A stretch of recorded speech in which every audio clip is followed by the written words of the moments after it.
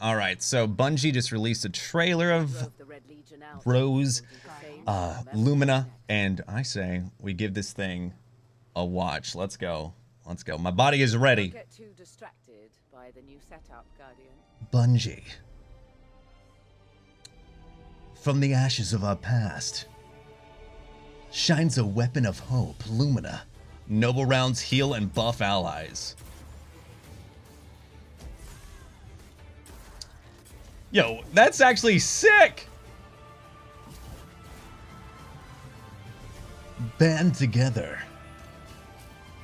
Looking for anything in particular? Light up the darkness.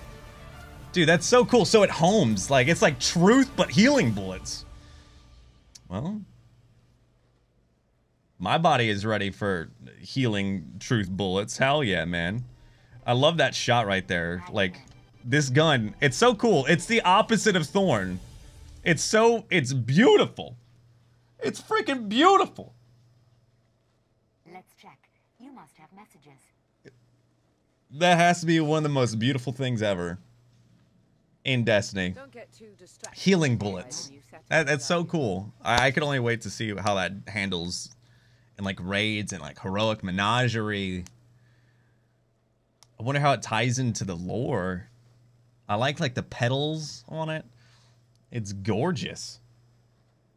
It's heckin' gorgeous.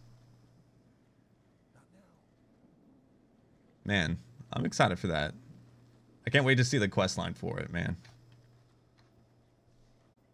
Looking for anything